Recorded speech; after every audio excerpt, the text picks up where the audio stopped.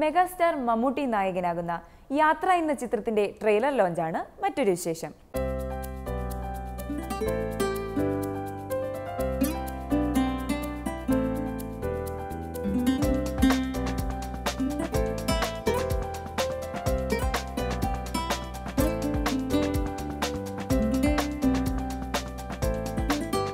K G എഫിലൂടെ രാജ്യമെമ്പാടും ആരാധകരെ സൃഷ്ടിച്ച കന്നഡ സൂപ്പർ താരം യാഷ് ആയിരുന്നു മുഖ്യാതിഥി ഞാൻ മലയാളത്തിൽ സംസാരിക്കുന്നു என்று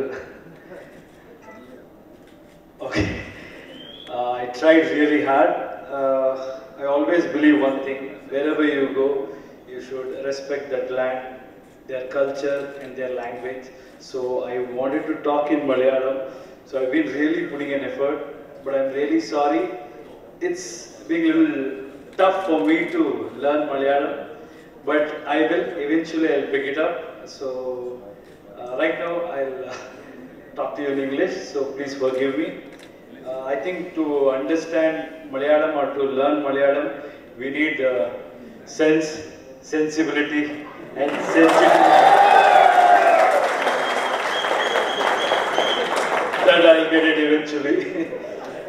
so I'm very happy to be part of this prestigious event, uh, especially to stage, uh, to share the dais with such dignitaries, uh, Mammootty sir, uh, Mamuka. So it's not easy to entertain people for four decades and still be in demand and still uh, doing such wonderful work. So you are, you are a true inspiration, sir. മമ്മൂക്കയടക്കം അണിനിരുന്ന ഈ മനോഹരമായ ചടങ്ങിൽ ചലച്ചിത്ര രംഗത്തെ പ്രശസ്തരും പ്രഗത്ഭരും പങ്കെടുത്തു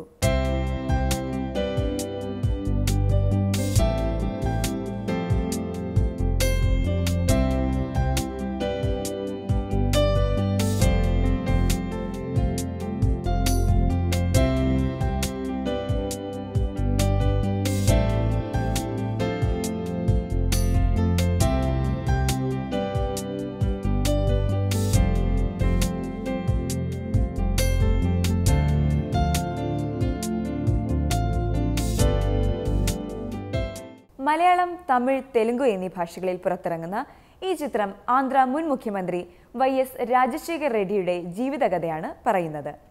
Mahi V രാഘവാണ് ഈ ചിത്രത്തിന്റെ സംവിധായകൻ. Please tell us how do you look like this? രഹസ്യം. രഹസ്യം എനിക്കിതുവരെ അങ്ങനെ രഹസ്യം തോന്നിയിട്ടില്ല. പറഞ്ഞു പറഞ്ഞ് യൂത്താണ് ചെറുപ്പമാണെന്നൊക്കെ പറഞ്ഞ് എന്നെ പല റോഡും നമുക്കൊന്ന് മിസ്സാവുന്നുണ്ട് ഒരു പറഞ്ഞ ഒരു നമ്മളാരെങ്കിലും ഒരു ലവ് സീൻ അഭിനയിക്കാൻ പോയി പോകുന്ന ആൾക്കാരായി യൂത്ത് ഈ പറഞ്ഞുകൊണ്ട് യൂത്ത് കൊണ്ട് യാതൊരു ഗുണം എനിക്ക് ഇതുവരെ ഉണ്ടായിട്ടില്ല. അതുകൊണ്ട് ഞാൻ ആ രഹസ്യം പറയുന്നില്ല ജഗപതി ബാബു സുഹാസിനി റാം രമേശ് അനസൂയ തുടങ്ങിയവർ പ്രധാന വിഷയങ്ങളിലെത്തുന്ന ഈ ചിത്രം അമേരിക്കയിലും ഇന്ത്യയിലും റിലീസ് ചെയ്യും First of all, before speaking about Yatra, Mammootty sir, Ellartum, of course, is a megastar in every language. He's been excelling. But எப்போலேருந்து மீட் பண்ணலாம் அவரை அந்த ஒரு ஆசை இருந்தது எனக்கு because not only is a great actor is a great human being அதனால அவரை மீட் பண்ணணும்னு ஒரு ஆசை இருந்தது யாத்திரால கூட வயசார் யாத்திரால நானும் ஒரு சின்ன கேரக்டர் பண்ணியிருக்கேன் அவரை மீட் பண்ண முடியல Hippo, I'm acting with him. It's a great pleasure working with him. And like everybody said, he dubbing in Telugu is something else. It's a very, very difficult thing. மூணு படம் பண்ணியிருக்கேன் நான் மலையாளத்தில் இது வரைக்கும் எனக்கு மலையாளம் வரல அவர் தெலுங்கில் பண்ணியிருக்காருன்னு it's great achievement more achievement